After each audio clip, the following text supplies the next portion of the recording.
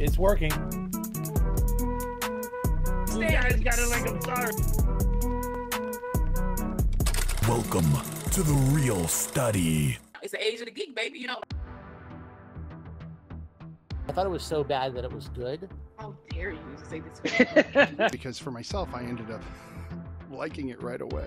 Okay, mine is probably not as agreeable, but He's gonna destroy this film. It is absolutely exciting, and I hope you're along for the ride.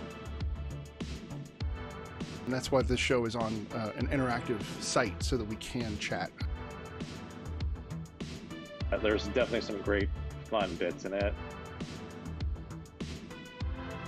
Like you need a Sharknado in the bunch. Is what I'm saying. Like just embrace the- They call that Fast and the Furious.